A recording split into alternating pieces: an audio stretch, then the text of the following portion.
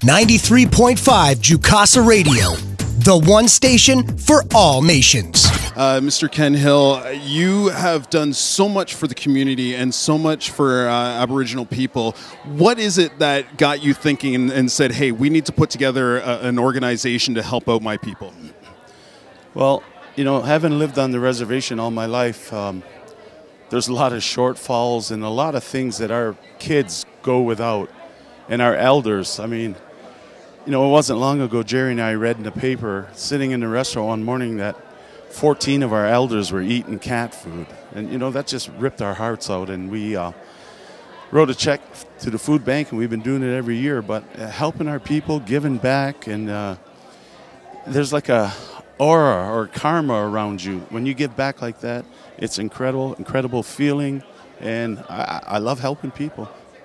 Now, I've met a lot of people that are, are very blessed and very fortunate in their lives, and uh, yourself being one of them. A lot of people would turn and say, you know what, I made myself. I did this all myself, but you seem to care about your community and in people in general. What is it that got you to be that sort of person?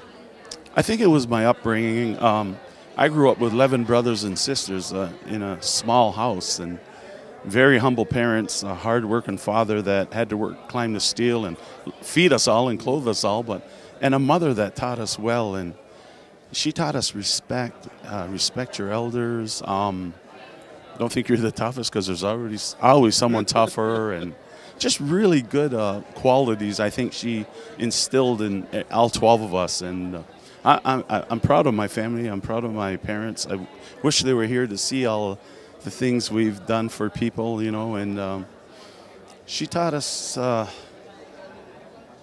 a lot of good stuff, and uh, we possess a lot of good qualities because of her. So I had so much respect for our parents. Ken, thank you so much, not just for this, but for all that you do. You, have employed so many people, myself included, and you've, uh, you, have given us a chance to do what we love. So, uh, again, thank you so much. Thank you very much playing all the hits on 93.5 FM, online, and on our app. Available for download from the App Store and Google Play.